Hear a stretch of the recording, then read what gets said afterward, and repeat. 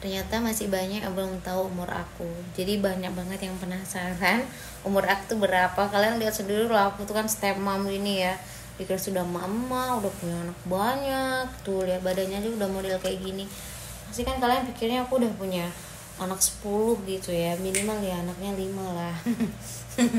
Tapi ternyata aku tuh masih single dan aku tuh belum punya anak aku belum punya suami. Jadi buat kalian yang mau daftar bisa lah. Akan aku masih seleksi. Nah ya, tapi yang bener aku masih seleksi. Karena aku juga rasa aku masih muda umur aku juga baru 25 tahun. Dan aku berharap tahun ini menjadi tahun yang sangat luar biasa. Kalian tahu kan keinginan mama-mama keinginan bapak aku mama aku abang aku pengennya aku cepat ada yang punya. Cuman aku sendiri pun mager ya. Aku pengennya tuh ngasih so I see. Burung